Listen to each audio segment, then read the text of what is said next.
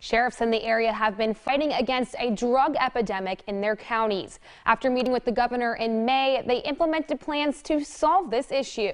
As News 13's Emma Riley tells us, sheriffs in the area have banded together in an effort to help their communities.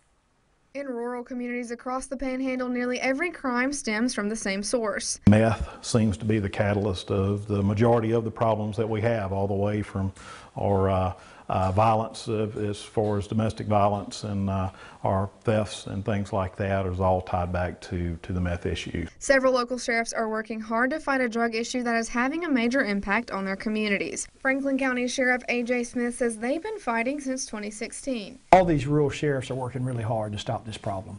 Uh, if you go to Liberty County, you'll see they're working hard. Gulf County, Calhoun, they're all working hard. But still, it gets back to uh, money. We need money to help us fight this problem.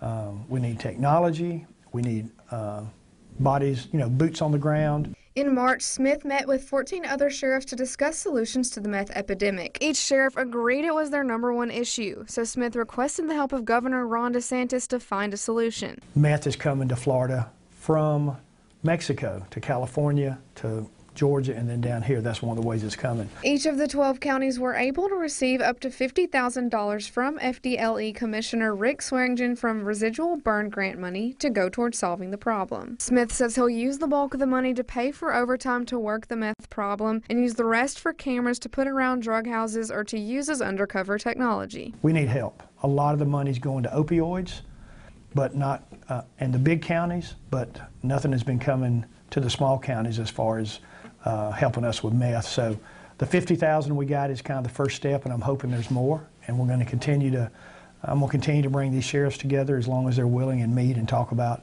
these issues and maybe come up with some new strategies for, for fighting the, uh, you know, stopping this meth epidemic in our communities. One of the ways the public can help is by downloading the Sheriff app, which allows you to submit tips anonymously. Emma Riley, News 13, Panhandle Strong.